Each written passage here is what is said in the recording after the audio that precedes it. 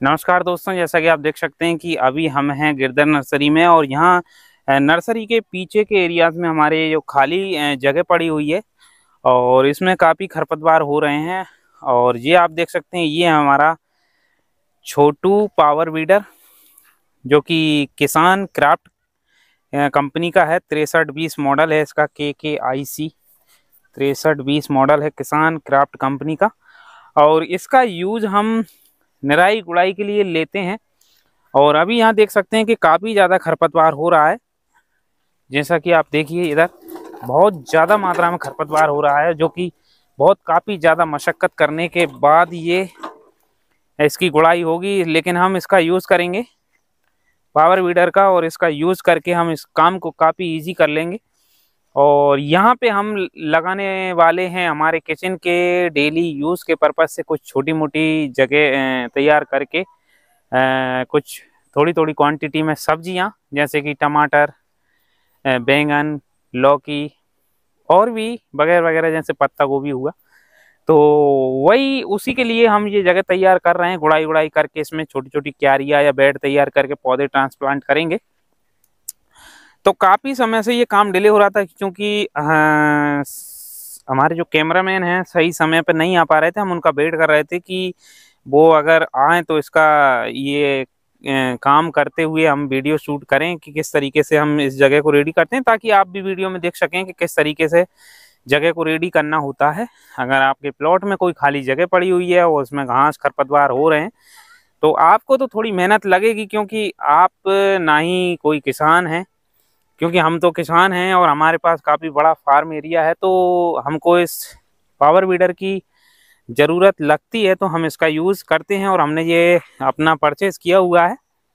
तो इससे हमारा काम काफ़ी इजीली हो जाता है, लेकिन आपका छोटा मोटा काम है, कोई प्लॉट के अंदर अगर आप किचन गार्डन बनाना चाह रहे हैं या कोई खरपतवार हो रहा है, उसको आप गुड़ाई मार के उसमें कोई वेजिटेबल लगाना चाह रहे हैं, जैसे पत्ता गोभी, टमाटर, बैंगन, मिर्ची।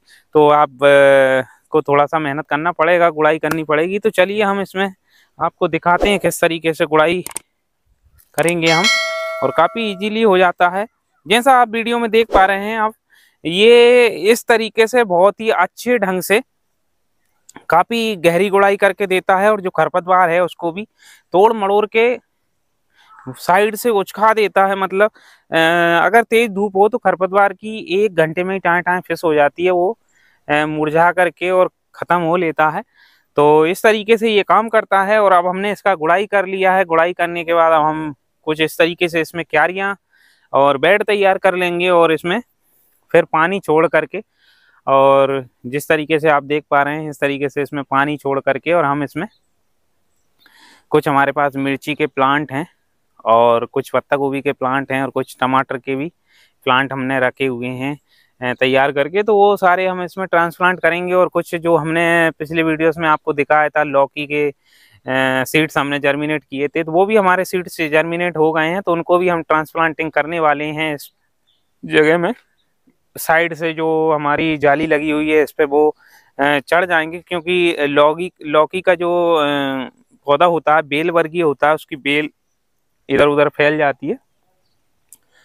तो उसी को हम बाउंड्री के सहारे से लगाएँगे और इस बाउंड्री का पूरा पूरा बेनिफिट लेंगे और इस पर हमें काफ़ी लौकी की पैदावार हमको मिल जाएगी, जिससे हम अपने किचन में भी यूज़ ले सकते हैं और कुछ अपने पड़ोसियों को भी गिफ्ट कर सकते हैं।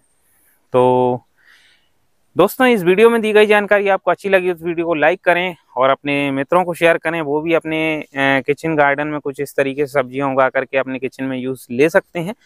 तो इसी तरीके से हम आने वाले वीडियोस में आपको और भी नई नई जानकारी किचन गार्डन से रिलेटेड देते रहेंगे। तो उसके लिए अगर आप हमारे अपडेट वीडियो देखना चाहते हैं तो हमारे गिरधर वाटी का यूट्यूब चैनल को सब्सक्राइब कर। उस बगल वाले बेलाइकन को और पर प्रेस कर लें, ताकि आप हमारे लेटेस्ट वीडियो देख पाएँगे समय पर दोस्तों, मैं मिलूँगा आपको किसी नेक्स्ट वीडियो में। जय श्री राम, नमस्कार, जय हिंद, जय भारत।